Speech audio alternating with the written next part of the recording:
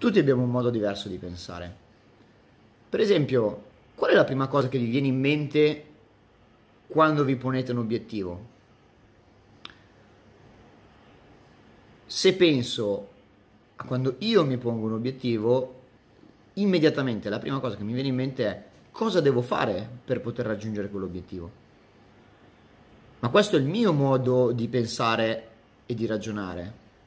Altre persone potrebbero pensare chi ha già raggiunto questo obiettivo intorno a me, in modo da poterlo contattare o poterlo, tra virgolette, copiare o emulare.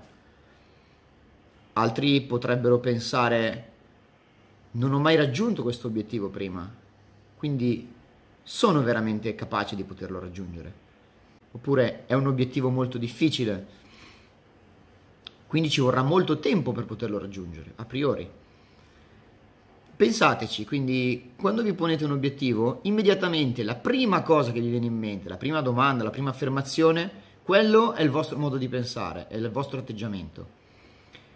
E l'atteggiamento è una delle cose, è forse la cosa più importante per poter raggiungere veramente un obiettivo che sia di dimagrimento, che sia di forza, che sia di corsa, di pesi, ma in generale anche nella vita.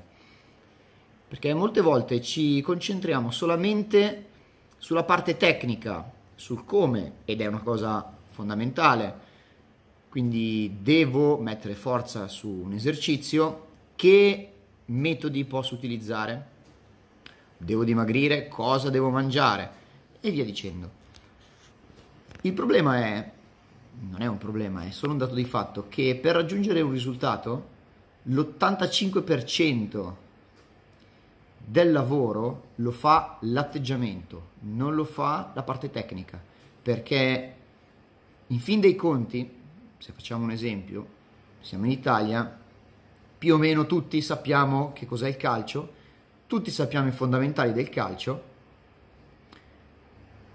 dobbiamo solo allenarli, ma non tutti sono Cristiano Ronaldo, non tutti sono Totti, non tutti sono Del Piero.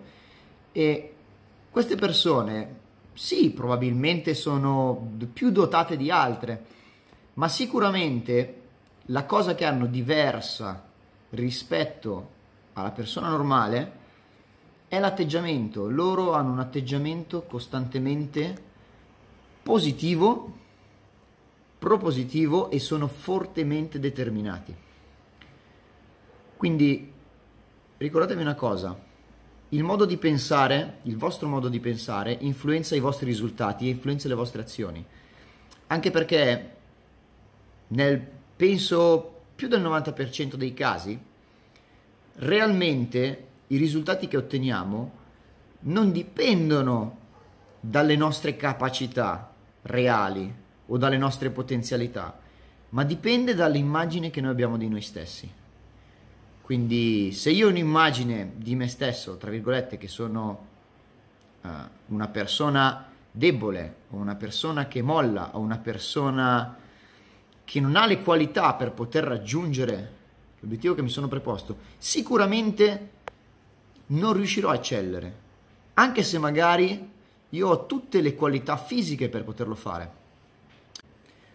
Una delle cose fondamentali che purtroppo non viene spiegata e non viene allenata, quindi fondamentalmente se sei fortunato ce l'hai, se sei sfortunato non ce l'hai, è la parte mentale, essere forti a livello mentale, perché è quello che veramente ti porta al risultato, non il sapere cosa fare, perché il sapere cosa fare, oggigiorno basta andare su internet e c'è spiegato di tutto, di tutto, da come montare un lavandino, a come programmare l'allenamento della forza, come si allenano le persone in palestra, a come si allena il campione del mondo. Quindi se volete, il materiale c'è già tutto. Fondamentalmente però la cosa importante è allenare l'atteggiamento e i pensieri, anche perché, e questo è un dato di fatto, oggi non siamo la stessa persona di ieri. Ok? Il cambiamento è una cosa inevitabile perché io oggi sono diverso da ieri, sono diverso da un mese fa, sono diverso da dieci anni fa, fisicamente, perché sono più vecchio, e anche mentalmente perché pensi in maniera diversa, magari non totalmente diversa, ma sicuramente in maniera differente. Quindi, visto che il cambiamento è una cosa inevitabile, sarebbe stupido accettarlo in maniera passiva. Al contrario, è molto intelligente cercare di cambiare, modificarsi per diventare come vorremmo veramente essere.